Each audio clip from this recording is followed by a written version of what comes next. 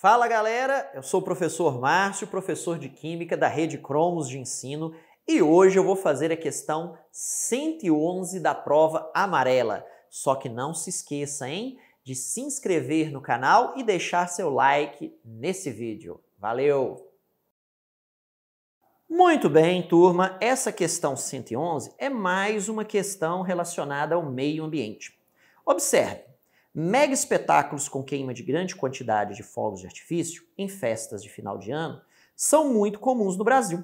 Após a queima, então depois que foi queimado, formou o quê? O produto. Grande quantidade de material particulado permanece suspensa no ar.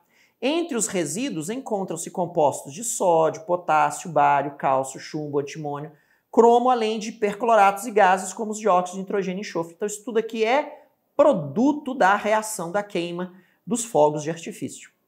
Esses espetáculos promovem riscos ambientais porque, observem a letra A e B, esses distratores, eles têm a mesma ideia, tá? As substâncias resultantes da queima de fogos de artifício são inflamáveis. Ora, se são resultantes da queima, o reagente é que é inflamável, não o produto.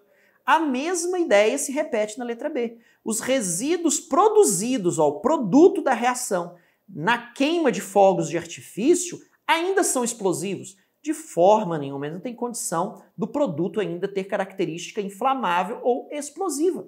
Então, essas letra A e B têm um distrator muito parecido. Letra C. O sódio e potássio são os principais responsáveis pela toxicidade do produto da queima. Sódio e potássio são dois elementos essenciais à vida.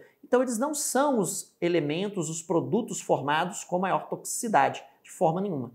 A resposta correta, então, vai ser a letra D. Os produtos da queima contêm metais pesados, chumbo, por exemplo, e o cromo, que é tóxico, e gases tóxicos que resultam em poluição atmosférica, como gases de enxofre responsáveis pela chuva ácida.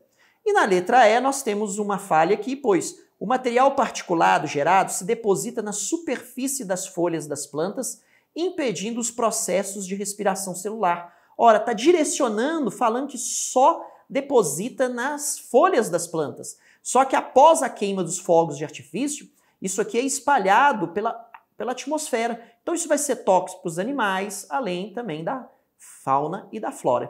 Então, questão 111, resposta adequada, letra D. Thank you.